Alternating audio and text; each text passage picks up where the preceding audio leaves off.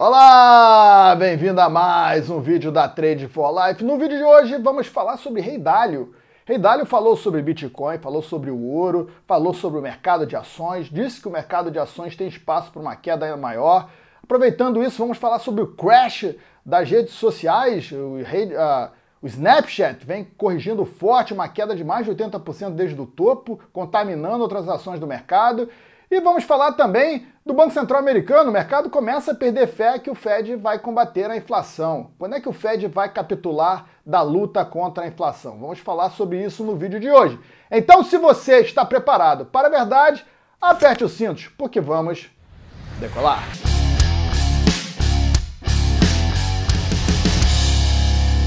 Bom, começando mais um vídeo do canal, é hora daquele Joinha maroto, então tasca o like aí no vídeo agora mesmo. Sempre lembrando que é importante você compartilhar esse conteúdo com aquele seu amigo investidor, com aquele seu amigo do trabalho, com o seu grupo de família. Então vamos compartilhar também este conteúdo. E você está vendo na tela o meu perfil do Instagram. Lá também eu estou sempre compartilhando informações como essa aqui do vídeo, comentários no Stories. Então se você quer mais conteúdo, segue lá. Como você viu no início do vídeo, a fé dos mercados que o Banco Central americano vai ser capaz de combater a inflação vem caindo nos últimos dias, principalmente com a forte queda dos principais índices do mundo, né?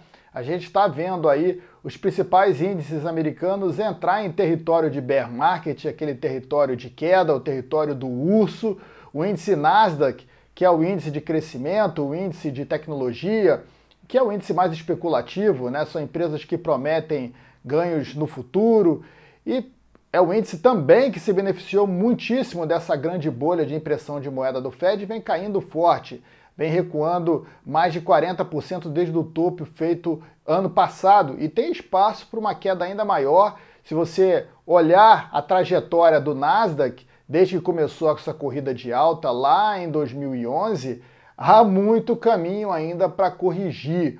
E o mercado começa a se perguntar e cogitar também quando vai acontecer a capitulação do Fed, quando o Fed vai mudar essa política de alta de juros, pra, de, vai abandonar o combate à inflação para frear essa queda de mercado. Será que essas quedas recentes são suficientes para fazer o Fed mudar de opinião? Muitos bancos como o Goldman Sachs, o JP Morgan também, do Jamie Dimon, o CEO Jamie Dimon, é né, bem importante, ele sempre está falando também no mercado de criptomoedas. Os bancos comentaram sobre esse atual momento e ambos estão contando com, esse, com essa capitulação do Fed. O Fed vai desistir da alta de juros em algum momento para ajudar os mercados mas eles não conseguem entender a extensão da recessão dos Estados Unidos. Ou podem até perceber o tamanho da crise que virá, mas não querem passar para os seus clientes, até porque eles querem que as pessoas continuem comprando esse mercado de ações, continuem investindo, e se eles alarmarem demais, pode ser um pouco arriscado.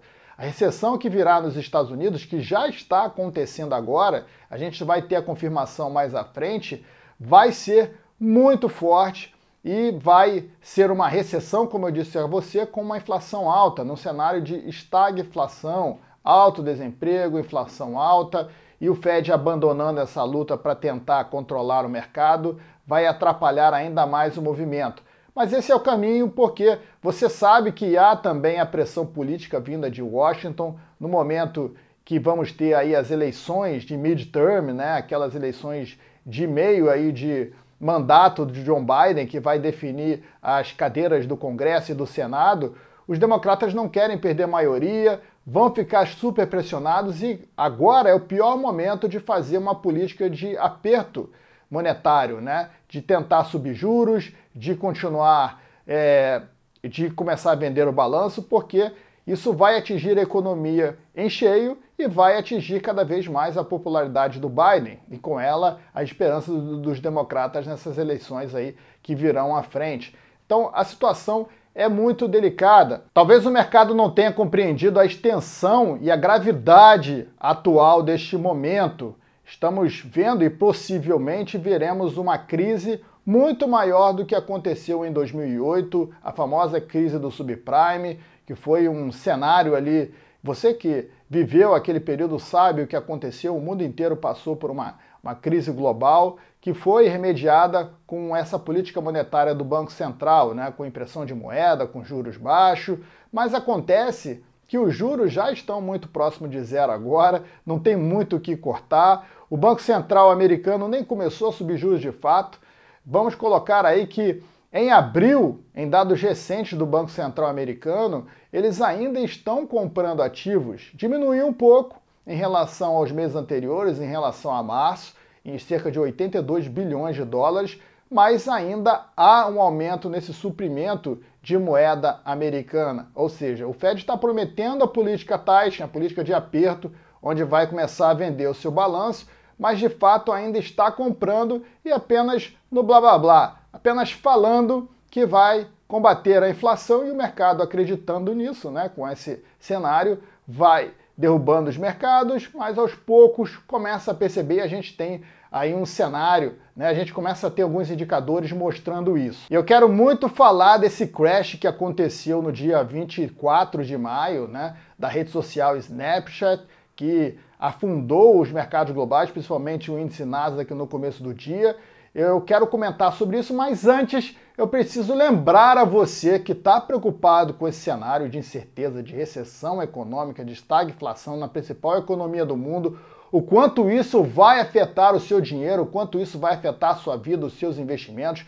É preciso agora buscar conhecimento, conhecimento que pode te fazer prosperar nesse momento para você tomar as melhores decisões de investimento e sair do efeito manada.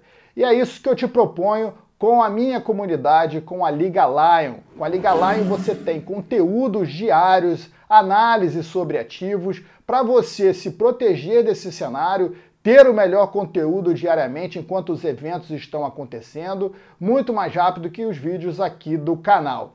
Em breve vamos abrir essa oportunidade. Aqui embaixo você vai encontrar um link para colocar o seu e-mail, o seu WhatsApp já entrar nessa lista de espera que está bombando. No último vídeo aí várias pessoas entraram, uma grande expectativa para a abertura das vagas da minha comunidade, da Liga Lion.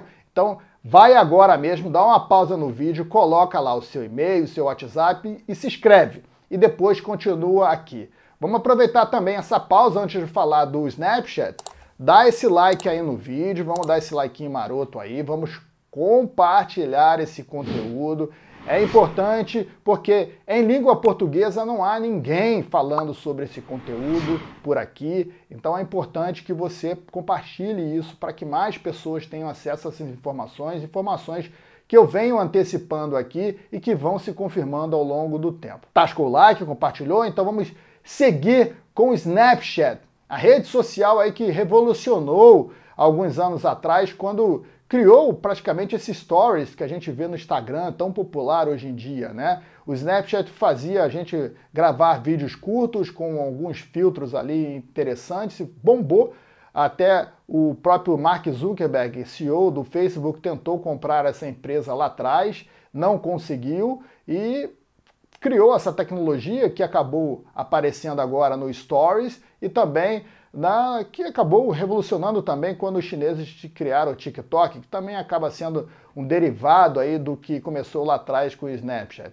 O Snapchat teve aí um prenúncio de um resultado muito ruim, as receitas vêm caindo fortemente, essas empresas ganham dinheiro com divulgação, com publicidade, né? Quando outras empresas vão lá divulgar seus produtos, e isso está caindo fortemente. Por quê? Essa pressão de inflação no mundo está sugando o poder de consumo das pessoas e também das empresas. O custo de produção hoje está bem elevado, então as empresas precisam remanejar aí o seu caixa e acaba retirando boa parte da cota de publicidade que essas redes sociais recebiam. Então o Snapchat mostrou que deve encontrar aí um momento bem desafiador pela frente e a gente não pode deixar de comentar que as ações subiram não por causa dessa publicidade, não por causa desse efeito tecnológico que eu comentei aqui antes. As ações subiram de forma especulativa, como vários ativos de crescimento que eu venho compartilhando aqui nos vídeos, subiram graças a essa festa do dinheiro grátis, essa política monetária que inflou essas bolhas do mercado. Então o Snapchat hoje é mais uma bolha que estoura. A ação caiu mais de 80% desde o topo feito em 2021. Olha a gravidade disso. E o efeito no mercado foi muito forte, acabou derrubando as ações do próprio Facebook também aqui do YouTube, né, da Alphabet, a empresa que é detentora do Google, né? E esse cenário desafiador mostra que o caminho para as empresas de crescimento, empresas de tecnologia, é bem difícil pela frente. É bem difícil e é por isso que essas ações estão caindo forte, esvaziando essas bolhas, né? Então é, é uma soma aí de dois fatores, né? O primeiro é a bolha que está estourando, porque essas ações estavam muito sobreavaliadas, graças a toda essa essa festa do dinheiro, essa toda essa impressão de moeda que migra para a bolsa, a especulação começa, as ações não param de subir. Esse ambiente contaminou não só esse setor de redes sociais, tem outros setores que a gente pode comentar aqui, né? Essa soma do esvaziamento da bolha e de um prognóstico ruim mais à frente. São empresas que muitas delas não têm receita, muitas dessas empresas não pagam dividendos. Então, nesse momento que o mercado começa a cair, o investidor busca proteção, busca investir em valor. Empresas que pagam bons dividendos, empresas que podem se beneficiar desse cenário inflacionário e começam a largar a especulação de lado. Né? A especulação ela acontece no momento de afrouxamento de bancos centrais e a gente viu essa grande bolha se desenhar por mais de 10 anos, quando começou lá o quantitative easing em 2011 com o ex-presidente do Banco Central, Ben Bernanke, né? E vem crescendo desde então. Não há como manter essas bolhas, e o Rei Dálio falou disso recentemente em uma entrevista, e falou também sobre o dinheiro ser lixo, falou sobre Bitcoin ser o ouro digital, o ouro 2.0. Eu quero comentar sobre isso, mas antes quero lembrar a você que você tem essa oportunidade de participar da minha comunidade, a Liga Lion. As inscrições estão abertas aqui embaixo para você colocar suas informações e participar dessa lista de espera. Eu vou trazer aqui o depoimento de um Lion, de um assinante, um dos assinantes mais antigos da minha comunidade, o Telmo, vai falar um pouco sobre a experiência dele com a Liga Lion e dando um exemplo de como ela conseguiu ajudar ele em seus investimentos no seu dia a dia. Vamos lá? Que eu também participo, eu também sou membro, da qual ali a gente tem acesso aos conteúdos do Leonardo Nunes referente aos principais pontos de mercado, a parte de macroeconomia, a parte de situações é, dos bancos centrais, enfim. Então, vou deixar aqui um exemplo de uma experiência que eu tive em relação a isso. Foi sobre ativos de valor. O que são ativos de valor? São aqueles ativos dos quais você consegue ali ficar protegido da corrosão da inflação. Um exemplo disso é o metal precioso, o ouro, é, que o Léo já vinha antecipando isso lá no grupo, em decorrência de tudo é, é, que vinha acontecendo com essa enxurrada de dinheiro dos bancos centrais. E a gente teve essa informação de primeira mão lá no grupo e foi possível dali você montar uma estratégia, você ter um tempo hábil para se programar, para ficar líquido no mercado e para poder investir de forma segura e adequada. O Telmo conseguiu pegar toda essa corrida do ouro lá em 2016, quando ele entrou na Liga Lion né, e começou a receber esse conteúdo diário, as informações e análises. Como ele disse, você consegue antecipar os fatos, você consegue planejar o seu futuro, planejar os seus investimentos, consegue ter tempo de construir a sua carteira para poder prosperar nesse cenário. É isso que você ganha entrando na comunidade, na Liga Lion, informação para que você antecipe esse cenário que está vindo pela frente. Então vai aqui embaixo e se inscreve agora lá na lista de espera, porque em breve teremos a comunidade Liga Lion, vagas abertas aqui no canal. Então vamos falar agora do Rei Dalio, aproveitando esse papo do ouro, né? É importante porque o Rei Dalio está lá em Davos e foi lá que ele deu uma entrevista antes da pandemia, dizendo que o dinheiro é lixo, cash is trash, segundo o próprio Rei Dalio, e essa fala acabou repercutindo no mundo inteiro, né? E o Rei Dalio reafirmou que dinheiro é lixo e disse mais. Disse que não só o dinheiro é lixo, mas que as ações também são lixo. e que há espaço para uma correção ainda maior, de uma queda ainda maior desse mercado de ações agora, ele acredita que as pessoas continuam nesse conto de fadas de que tudo vai subir para sempre, como o mercado vem subindo nos Estados Unidos há mais de 10 anos. Então, há essa expectativa que o Banco Central vai continuar a alimentar isso de novo e que o mercado vai continuar subindo, e você pode se dar muito mal investindo no mercado de ações, como eu venho comentando aqui, o Rei Dalio vem afirmando isso também, e afirmou que há maneiras de se proteger desse cenário e que ele está alocando parte dos seus investimentos hoje em ouro e também no Bitcoin, que segundo ele seria o ouro 2.0, o ouro digital, uma alternativa para este momento. Na verdade, ele acredita que os investidores estão buscando o novo dinheiro, né? Porque todas as moedas fiduciárias do mundo vão perder valor de fato, como eu já venho compartilhando aqui com toda essa política de bancos centrais. A pergunta que eu me faço é: se ele acredita que o mercado de ações vai corrigir e ter um espaço para uma queda maior, por que não o Bitcoin ter uma queda ainda maior, já que o movimento né, é, do Bitcoin está extremamente atrelado ao movimento desse índice Nasdaq que eu venho comentando aqui, que é o índice mais especulativo da Bolsa Americana. No momento que o índice Nasdaq sobe, o Bitcoin sobe, assim como todo o mercado de criptomoedas e vice-versa. Desde que o índice Nasdaq começou essa grande correção que foi feita, o topo lá em 2021, em outubro de 2021, o mesmo mês que o Bitcoin fez o topo ano passado, quando chegou lá em 60 mil dólares, né? Desde então os dois vêm abraçados de mão dada, caindo juntos, porque são ativos especulativos que projeta apenas um futuro lá na frente, quando virar efetivamente alguma coisa importante para a sociedade, isso vai valer muita grana, não paga dividendos, não tem resultado, não tem lucro, como muitas das empresas bolhadas que estão participando do índice Nasdaq. Então o espaço para queda do mercado de criptomoedas é muito grande. E cogitar que a criptomoeda é um ouro 2.0 é mera ilusão, porque neste exato momento estamos vendo o ouro repercutir essa queda dos mercados, e o ouro começou a subir agora, quando o mercado começa a entender que o Banco Central americano não vai conseguir combater a inflação, que vai capitular em algum momento. O ouro vem ganhando aí 5, 6 dias de alta consecutivos, altas modestas, porque o ouro anda desta forma, mas em algum momento, quando o mercado realmente perceber essa extensão dessa crise atual, dessa recessão, o ouro deve subir balisticamente, como eu venho compartilhando na comunidade, como eu falei aí para o Telmo, né? O Lion que comentou agora há pouco aqui no canal. O ouro vem se valorizando frente a todas as moedas fiduciárias do mundo desde 2015, em frente ao real valorizou muitíssimo, né?